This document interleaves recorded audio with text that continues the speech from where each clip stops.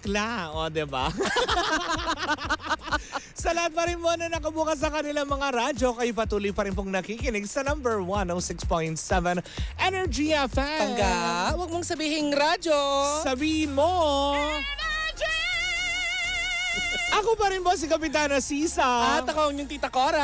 At kami ang Baklitas! Woo! At eto na ang chika natin for today's video. Ako, Mari, maraming pinainit ang ulo nitong mga nakarang Ay, oo, dahil kasi dito. di ba sabi na nga nila ay para bang, ito, ito ba Mars yung sabi nila, o tapos na yung election, tapos na Ikaw yung problema, back to you. o, ito yung sinasabi. Oo. O. Nag-start kasi Mare nung nagpa-interview yung kanyang Asawa. Ano, asawa Actually, si hindi pa sila kasal? Oo, eh di partner. Oh, yun. Ayun. Kinakasama. Kasi naniniwala ko, Mare, na kapag magkasama na kayo sa isang tahanan, Mm. mag-asawa na kayo. Hindi, kasi pag sinabi mo mag-asawa Mars, kayo ay ah, Kasal. pinagbuklod Pinagbuklod. ng ah, Panginoon. Okay. ah, Sige. diba?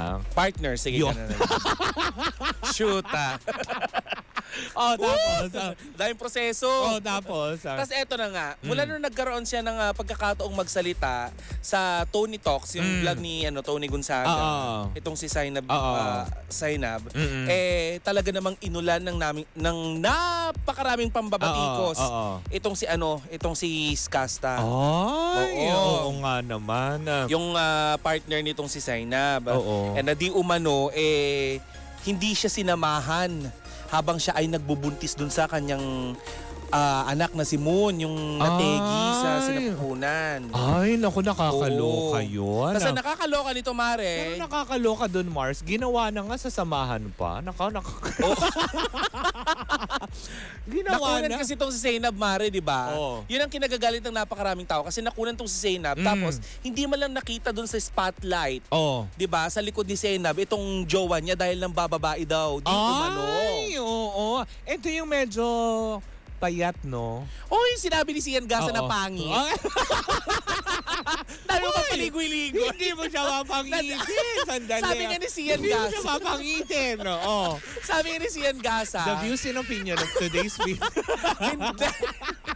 oh. si Sian Gasa yung ano, yung safe ah, self-proclaim na ano, Oo. na marites Oo. ng Pilipinas. Eh, Yan sinabi yung niya ano, humaharap sa daming Oo. kaso. na, babaero Oo. ka na nga, Oo. pangit ka pa. Tukmol ka. Eh, si Sian Gasa, ano naman siya? Ah! Hoy! Hindi natin ito Hindi ka sa kanya magsasabi yun. ng mga ano, ng mga ibang kaso. Hoy! Hindi So, ka magpapa-billboard Oh. para kay Eric.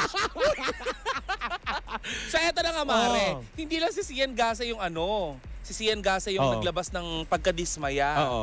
Merong inilabas na tweet itong si Aura Briguela, yung Oo. anak-anak ni Vice. Correct. ah. Na di umano, eh, wala naman siyang pinangalanan. Sandali, Eh, parang sabi ko na naduduling ako doon to. O sige, go. na may pinatutong ko lang ano, Oo. pinatutong ko lang ah, something tungkol sa pagkakaibigan nila sa. Eh, hindi kasi 'di ba may ano sila, talagang circle of friends sila. Mm-mm. Kasi kung maalala mo, Mari, di ba nagloko na itong si Daryl nakaraan? Ang Oo. pangalan niya ay Daryl, ah, si Oo, Skasta. sa totoong buhay. O, di ba? Nagloko na ito dati. Di ba tapos naghiwalay na sila? Oo, naghiwalay na, nagbalikan. Tapos nagbalikan. Gumawa ng kanta, di ba? Gumawa ng kanta, nagkaanak sila, which is si. Bia. Oo. Tapos, eto na ulit. Eto na ulit. At binabalak na naman daw maglabas ng bagong kanta. Ano na naman? Eh, hanggang ngayon wala pa naman natutukoy. Pero may balak na maglabas ng bagong kanta. diba? Hindi, yung una niyang kanta lagi-lagi, di ba? Oo. So, ito susundan. Uy, hindi ka mabababae for the third time. susundan. Tapos eto na nga, Mare. Oo. Sinabihan siya ng ano, na makapal ang mukha daw. Ay, Nino. Oo, ni Aura. Mm. Kasi, Mare, hindi naman niya pinangalanan, pero ang mga netizen doon sa comment section, Alam na sino Oo, tinutukoy. kasi di ba kaibigan nitong si ano, si Aura, si Zainab. Correct, diba? Bago pa siya mapunta sa poder ni Meme Vice talaga, Mm-mm. eh nandun siya sa poder ni Zainab. Oo. Diba? Dami talagang galit ngayon kay Iskasta, Eh no? well, talagang ganyan. sabi nga ni Aling Chole, o Oo. 'di ba? Ang ang minsan ka lang nagloko, Mm-mm. forever ka nang magloloko. Hoy, Aling Chole, hindi ka judger. At saka Mare, ha? hindi ka mag-judge. oh. Ang nakakaloka dito, hindi siya ang pinakaunang member ng ex-batalyon. na Akala ko hindi siya yung unang nagloko. Hoy, hindi natin iisa-isahin yun. ah. Hindi kasama si King Badger. Na dinimanda. Nako, Jella Oh. Andres ah. Hoy! o tapos, Diba? oh. Kaya nababalot ng kontrobersiya itong grupo ng ex-battalion kasi hindi lang daw siya yung pinakaunang nagloko dito. Mm. Di ba? Pangalawa na ito, Mare. Correct. Parang ang sakit naman nun, di ba, na sana, alam mo yun, nagkaanak na, Mhm. di ba? Kasi sa ngayon, medyo tahimik pa rin naman si Skasta, Oo. hindi pa rin talaga siya Hindi, nagsasalita, may, nag- Mars. may kumakalat ngayon sa social media na Oo. kanyang pahayag Oo. na di umano, eh parang hindi nakikitaan ng pagsisisi or guilt Mm. itong si Iskasta. Pero, sa ano, sa syempre, kanyang below ano. the line, Mare, di ba? Sa mag-asawa naman, usually, sabi nga ni. Charito, tsaka ni Dulce, na Mm. parang sabi nga nila, ah, lagi naman yung may pinagmumulan ng away Mm-mm. na hindi alam lahat ng tao. Napanood mo na ba yung vlog? Oo. Bubuhos ang luha mo. Oo, talaga alam mo yung humagulgul ako ng humagulgul. Naawa Diba? naman din ako. Kasi ina yun eh, na mawalan ka ng anak. Tama, di ba? Tapos yung inaasahan mong tao na dapat nasa likuran na mo, namang dadamay sa'yo, di ba? Naku, nakakalungkot. Anyway, mali talaga yung ano, yung mali- ang pinakamali dyan Mm. is, ang sabi ni ano, ni Aling Marites, eh, Oo. yung manloko ka. Oo. Diba? At ang diba? pangangabit ay pangangabit. Oo, nasa ano yan? ah? Nasa ikapitong utos ng Oo. Diyos. ah. Kaakibat niyan.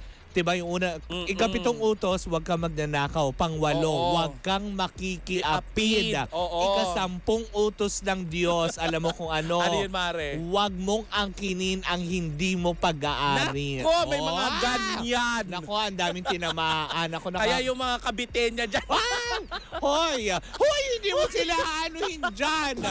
Walang kinalaman ng ano. Magsimba kayo. Well, yan, di ba? Magsimba-simba naman para Oo. naman kahit pa paano mabawas-bawasan ng ano, ang kasalanan. True. Anyway, saya lang naman din po. Sana maayos pa rin po nila yan sa matiwasay na pamamaraan. Oo. At sana wag naman sa social media dahil syempre nakakahiya pa At din saka naman yan. mababasa din ng mga anak nila. So in the yun. future, mapapanood yan ng mga Oo. Junakis, di ba? Ayusin na lang to ng ma- matiwasay para maging Diba? happy tayo. Wala namang away na hindi naaayos na mabuting usapan. True lalo, hindi ba? But anyway, sandyan po muna ang ating Friday edition ng ating chikahan. Muli po ako si Kapitana Sisa. At ako si Tita Cora. At magkarinig ang magpanoorin tayo sa darating na lunes. Siyempre dito po lamang yan sa number 106.7 Energy FM. Pangga, wag mong sabihing radyo. Sabihin mo.